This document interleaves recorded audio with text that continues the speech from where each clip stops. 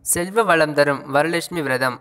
வரலட்சுமி வணங்கினால் குறையாத செல்வம் கிடைக்கும் என்பது நம்பிக்கை. இதனால் தான் ஆண்டுதோறும் ஆடி மாதம் அல்லது ஆவணி மாதங்களில் வரலட்சுமி விரதம் கொண்டாடப்படுகிறது. எட்டு வகையான செல்வங்களை வாரி வழங்குபவள் மகாவிஷ்ணுவின் திருமார்பில் குடியிருப்பவளுமான லட்சுமி தேவி மகாலட்சுமியை தனலட்சுமி தானியலட்சுமி தைரியலட்சுமி ஜெயலட்சுமி வீரலட்சுமி சந்தனலட்சுமி கஜலட்சுமி வித்யலட்சுமி என அஷ்டலட்சுமிகளாக வழிபடுவார். இவ்வாறு அஷ்டலட்சுமிகளுடன் வரலட்சுமி சேர்ந்து ஒன்பது லட்சுமிகள் என சாஸ்திரத்தில் கூறப்படுகின்றது. ஒன்பது நூல் இலைகளால் ஆன ஒன்பது முடிச்சுக்கள் போடப்பட்ட நோன்பு கயிற்றை பூஜையில் வைத்து பெண்கள் வழிபடுகின்றனர்.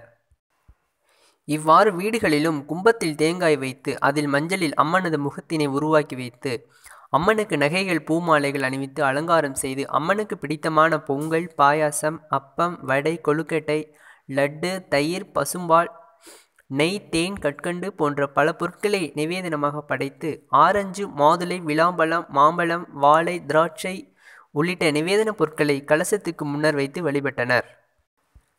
ஒன்பது நாட்கள் விரதமிருந்து இப்பூஜையினை மேற்கொள்பவர்கள் பின்னர் பூஜையில் கலந்து கொண்ட சுமங்கலி பெண்களுக்கு தாம்பூலம் மஞ்சள் கயிறு பிரசாதம் வழங்கப்பட்டது. வரலட்சுமி விரதத்தை மேற்கொள்பவர்களுக்கு சகல ஐஸ்வர்யங்களும் கிடைக்கும்.